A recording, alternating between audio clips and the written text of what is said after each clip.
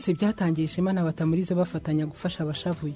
Urukundo rutangiye kubogaboga ku nkombe z'imitima rutakihishira.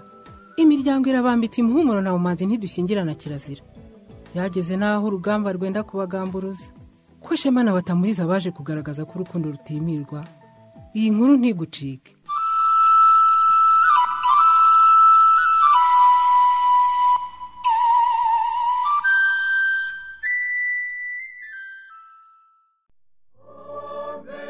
Batamuriza rero igituma ngutumyeho mbere y'uko ujya mu masomo.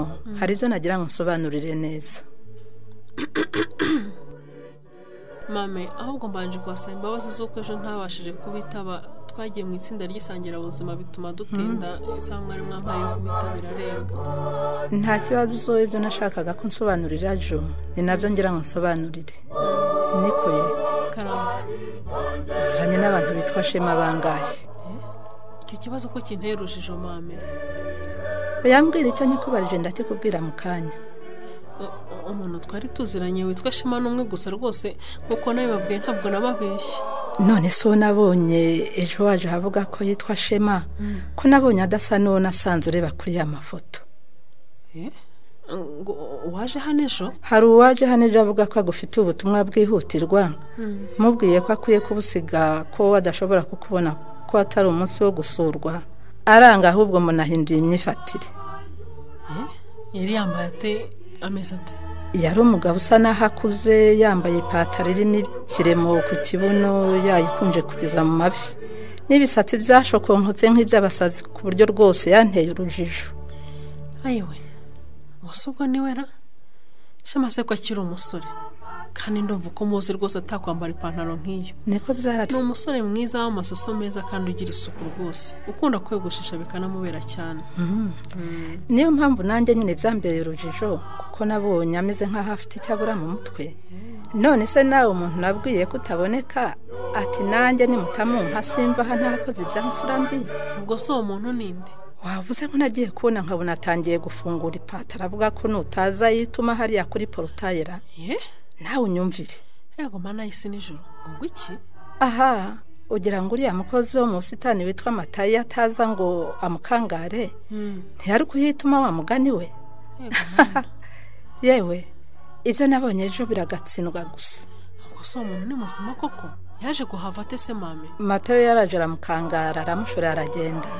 Naho ubundi yari yanze rwose. Ariko nanjye yavugaga ko yitwa shema. Ntareba imyambarire n'imyitwarire ye. Nkumva atari we nkurikije amafoto ye nigeze kubona. Oya mame shema ni umusore ushinguye kandi w'umusirimu ntabwo yaba ari uwo. N'ubundi ntaho bari ahubwo wenda birashoboka ko ari uwo yaba yari yatumwe. Ngo arebe koko niba naraje mu babikira nk'uko benshi bibwiraga ko ari imikino. Icyamugenzaga cyose rero bagomba kumenya ko mu kigo nk'iki atari ukuza nk'uza mu isoko.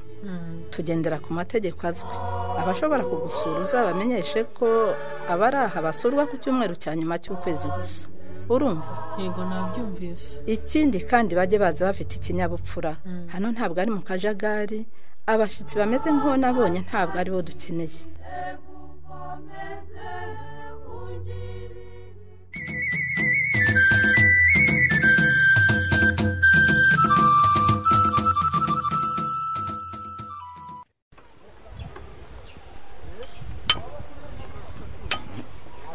Ndabikingura nshaka imyenda ya shema maze ndebe ko uriya maseri asubira batamuriza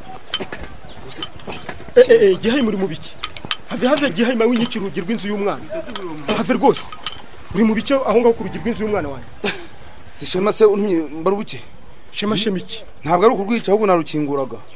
Kuko hari ibintu nshakiragamo byatuma shema yongera agatekano genda winshinyagurira sigaho. Shema yabuze ntabwo yongera gutekana. Atekana atakirimo umwuka. Shema se hari icyo bahemba rubuke uretse ko yatorotse ibitaro tukaba twarashakishije hose tugaheba urumva yaba ari hehe. Cyangwa ubwo uvuga ko yagutumye uza ahari igihaye ugomba kubisobanura neza. Ndakakubura mbarubuke ntaje nzi ko mamusanga kubisobanura rwose. Nkomanze umva nta muntu ukoma. Kuko rero nahise kwishakira imyenda yo nzagenda nambaye ngiye mu kibikira nanga gutahiraho ujya mu ki- mu kibikira se wambaye imyenda y'umwana wanjye kubera iki gihaye none se ko ejo nagiyeyo mamiya waho akambuza kwinjira ngo ntambaye nka shema? Mva- mvanaho iby'ubusazi igihayima ubu nitereye umutwe w'umwana wanjye wabusa erega uzamubona. Niba yarakurikije inama zanjye namugiriye ejo bundi njya kumusura mu bitaro humura arahari. Wamugiriye inama ki? Umva kuko numvaga ibibazo byose afite yaravuga ko yabitewe n'umukunzi we wagiye mu bubikira. Namugiye ko hari uburyo yakora akamusangayo. Ubundi kikaba kirakemutse genda sha. Ngo bitewe n'umukunzi we nyabakise babaye abanyamuhumuro. Wayase kandi ntukavanye amasaka n'amasakamento mbarabuke ibyo rwose ntabwo ari byo mugiye kujya mubagira abanyabayazana ibice byose koko? Nk'uko babibakoreye mu minsi ishize. None se twe babidukoreye batabona ko turi ibiremwa bose bunguta iki? Hava wishaka guhimbahimba ibintu bidafite icyondo n'umutwe. Mm-mm. shema arazira ko yabuze batamuriza nta kindi. Kandi namubwiye inzira akwiye kunyura kugira ngo amubone. se ariko iyo nzira niyihera ko wagumye kuyitsinda. Yewe ntabwo uzi si nyine namugiye ko kugira ngo abashe kongera kubonana na batamuriza hari uko yambara ijipo akinjira umukobwa akagenda avuga ko yitwa nyirandekwe suzana. Ubundi nawe akinjira mu babikira Hi. genda gihayimuriye ikibwa gusa. Ngo ni ikibwa? Uri ikibwa rwose. Aha. Hari n'abandi bajya babinyita ariko babona ko bibeshya bakaza gusaba imbabazi. Nawe rero usabye imbabazi nakujyaho umuhungu wawe ari ariko ntukabeshye gihaye wowe nyemerera nkingure gusa mfate ipantaro n'ishati bya shema ubundi we ko ntahita mukuzanira. Nimo amanitse ndamuzana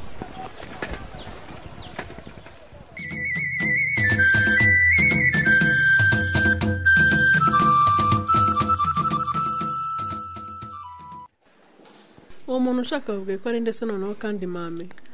Ni umukecuru ufite ibihanga mbwiye ko ari nyogosenge. Genda vuba umuganiriza atagira irungu.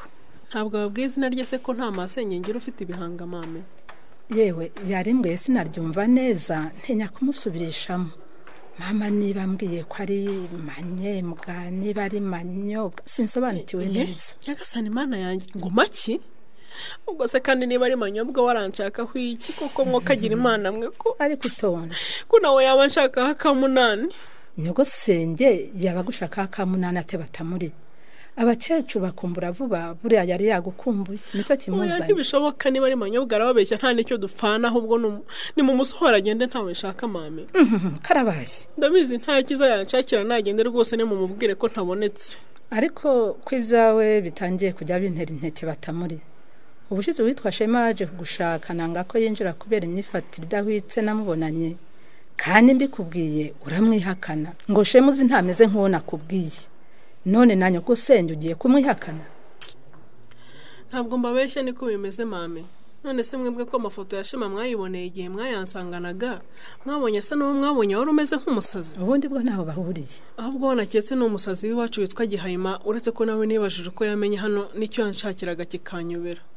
none se uwo mukecuru niba atari nyogosenge urangira iki kujya kumureba? Wagiye ukumva icyo ashaka kukubwira? Ubwo urumva yagurukijwe n'ubusa?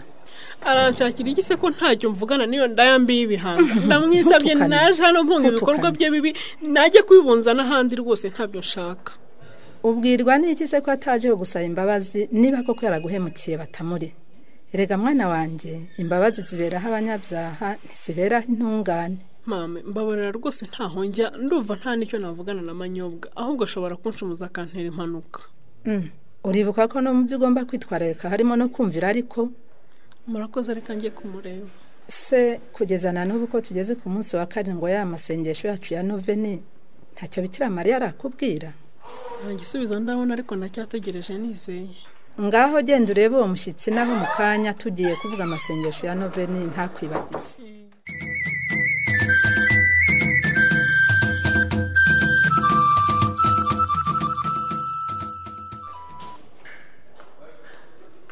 Niko manyo urumva ibyo wakoze bidahagije none nkurikiranye naho naguhungiye koko? Cyangwa uje kuntumira mu bukwe bwanyu na shema? Batamuriza mukobwa mwiza. Ngirira imbabazi ni koko narahemutse ariko sinzongera rwose. Dore sinzabyongera uburyarya bw'abisi ubwo se urapfukamira ndi imana yawe? Haguruka wongere wicare ntibimbuza kumva ibyo uvuga. Ni ukuri ntabwo ibyo sema yakubwiye yakubeshyaga mubabarire batamuri nanjye nawe nagikunze maze mbonye kitanyitayeho nigira inama yo kugisindisha ngo mbone uko nkisigaranira agafoto njye nkareba. Babarira rwose. Manyo ubwo si ibyo umbwiye nabifata nk'ukuri? Ubwo se urumva nabeshya ndi mu kibikira koko? Ndagakuka nta nari nsigaranye batamuri. Ntabwo nari nzi ko sema akubuze yagomba kukwiyahurira ariko aho numviye ko yabikoze na nyagasani we! Ngo shema yagize ate manyo? Ngo yariyahuye yarapfuye? Cyane ko ntabimenya ngo nibura nze kumuherekeza koko we. Shema yarapfuye we.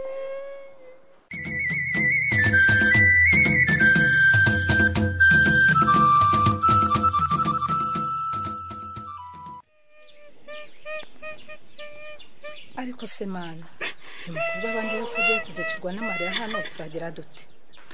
Batamuriza. Batamuriza. Nari nje hano nje kukubwira ngo tujye mu masengesho. None urimo uririra ubaye ikisekani mukobwa mwiza mame ndakwingize rwose ihangane umbe hafi. Inama ni wowe mubyeyi naje nsanga nguteze yombi rwose. Rwose ibigeragezo mfite ndumva ntashobora kubyihanganira. Birandenze we. Iki kandi Hmm? yakubwiye ko hari umuntu wapfuye iwanyu se reka rwose nakoze ikosa sinzi niba n'imana izarimbabarira we. Uze koko. Iyo mbimenya ngo wakoze ikihe cyaha? Wumva ko imana idashobora kukubabarira batamuriza mwana wanjye. Uzi ko uriya mukecuru yaraje kumbwira mame mbwira ndumva. Ariko ubu nkanjye navukiye iki koko? Yahumura imana irakubona. Urumva? Batamuriza rero ihangane wiheranwa n'ikigeragezo cyo kwiheba. Ngo utangire kugaya imana yakuremye. Urabizi imana izi icyo yakuremeye kandi ikamenya intangiriro n'iherezo. Urumva se? Ihangane ndabigusabye rwose. None se kuki muza mu bigeragezo nayicumuye w'iki koko komeza mame? wihangane uri umukristo. Mbashimiye amagambo mumbwiye kuko ngaruriye icyizere amarira n'agahinda ntibigomba kuguherana. Uriya mushyitsi wawe wasanze se ari we manyobwa watekerezaga? Niwe kandi nk'uko nabibabwiraga nzaniye inkuru itari nziza nubwo mushimira ko atabimpishe. Ati iki se kandi niba atari ibanga? Rwose narahemutse ariko imana izambimbabarire nanjye sigena bitewe no kutamenya ukuri ishema yambwiraga shema ankoro ndakwinginze mbwiza ukuri uko byifashe batamure kugira ngo tubone uko dufata imyanzuro kuri icyo kibazo cya shema gihora kigaruka. Kugeza ubu cyo kora rwose nababwije ukuri ntabwo nigeze mbabeshya. Ahubwo nk'uko mwakomeje kumfasha no kwihanganira ibibazo byose nababwiye n'ibyo nabateye nta kibazo. namufashe no kumenya ko nifata mu kibazo kitanyoroheye amaze guhura na cyo. Giteye gitese kandi. Maze kumenya ko nawe mugihe shema nkanga kumwumva none manyobwa akaba amaze kumbwira ko ibyabaye byose ari we wabikoze nta ruhare na ruto shema yigeze abigira ngira ngo nawe urabyiboneye ko atari byiza kwima amatwi umuntu uje gusanga. Hmm. ubundi wagombye kumwumva ahubwo ugashungura ibyo akubwiye si byo batamuri? Ariko wabanje ukamureka akakubwira. Hmm. ariko nanone wikwicira urubanza yenda byari imigambi y'imana. Hmm. ahubwo we mbere yo kukugira inama mbwira icyo ubitekerezaho. Ngira ngo iki ni igisubizo cya noveni tumaze iminsi dukora? Uranyumva batamuri niwo munsi wo guhitamo icyo ugomba kuba cyo mu minsi iri imbere. Uwiha imana cyangwa se gusezera ukajya gusaba shema imbabazi ukitegura kwitwa umubyeyi nyina w'abana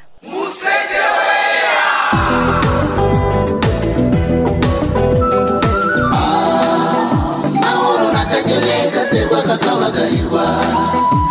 bashyize hamwe akera kumbuto z'urukundo